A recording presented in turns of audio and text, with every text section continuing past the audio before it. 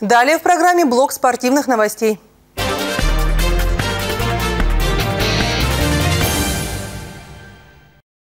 В минувшие выходные мини-футбольный клуб «Газпромнефть» провел в рамках первенства России среди любительских коллективов очередные два матча. На этот раз в гости к ноябрьцам приехал нефтеюганский «Спартак», занимающий на сегодняшний день последнее место в турнирной таблице. Однако игры получились непредсказуемыми. В первой встрече аутсайдер дал хозяевам настоящий бой. Молодая, перспективная команда югорчан играла вдохновенно, а вот ноябрьцы, наоборот, казались немного тяжеловатыми. В итоге первый тайм прошел в равной борьбе и завершился в ничью 2-2.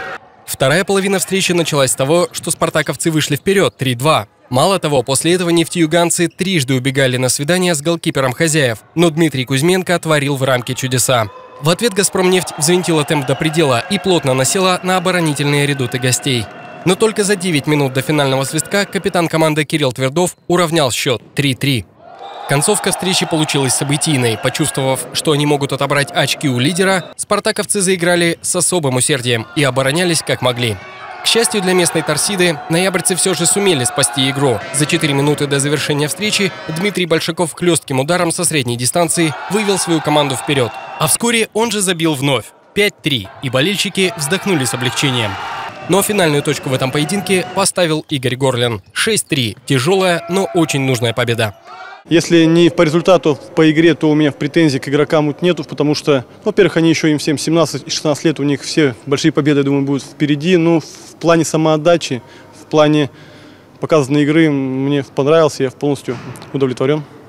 Будете ли вносить какие-то коррективы на завтрашнюю игру? Конечно. Проанализируем игру в противника и внесем коррективы. Вторая встреча прошла уже не так увлекательно, как первая. «Газпромнефть» провела работу над ошибками и с первых же минут взяла ход матча под свой строгий контроль. Хозяева доминировали на площадке с первой до последней минуты и добились крупной и убедительной победы. 10-1.